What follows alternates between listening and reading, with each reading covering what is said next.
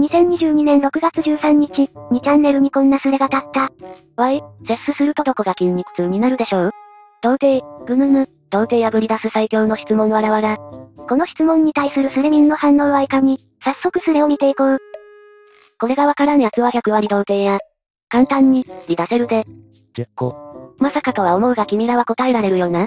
腰、尻、一致はわかるんか？内転筋。おちっちに決まってるやろ童貞オツ。内転筋や。いや日常的にしてたらならねえだろ。何度やってんだよバカじゃねえの。ワイとか毎日チッポつってるが太もも。ならない、が正解や。摂取で筋肉痛になるのは普段鍛えてないからだろわら。摂取は愚か筋トレすらしたことなさそう。やり慣れてやならないだろわら。摂取程度で筋肉痛になるようなやつ逆に機会が少ない素人童貞か運動不足のデブかもやしやろ。インナーマッスルが一番来る。腹筋の太もも。群にしまくるから下の付け根の筋肉なわら。血などう。太ももの内側。こういうスレ優越感ある。気持ちいいより筋トレだからな。足の裏が来てる。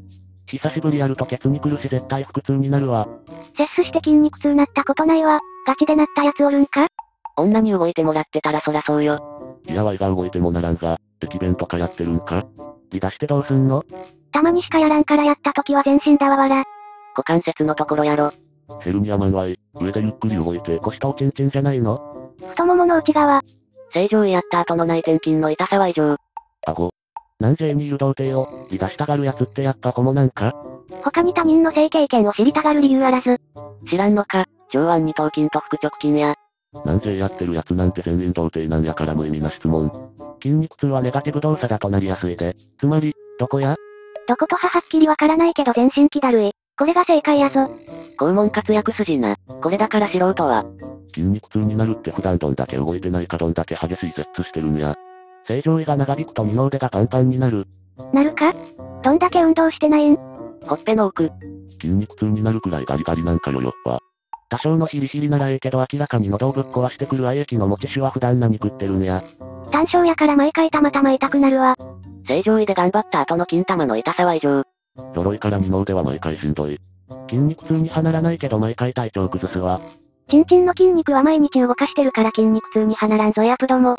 筋トレしてたらならんやろ。インナーさえやれ。二回戦いけるやつおる ?Y 最低でも1時間はケンとタタンしたい力も持たんわ。むしろその程度で筋肉痛とか軟弱にも程があるやろ。なるのは女の方やろ。体による、です。接すごときで筋肉痛とかザコース確定で草。ロリビッチに煽られてるみたいで。最近童貞卒業したんやけど腰の振り法全然わからんわ。AV 男優ってすごいんやな。彼女できたらなれるで。布団敷いてないとバックの時質がすりむける。ここでとぼけもせずそれっぽい箇所を想像で書いてる童貞が一番きっしょい。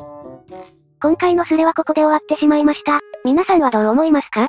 ぜひコメントよろしくお願いします。最後までご視聴ありがとうございました。チャンネル登録よろしくお願いします。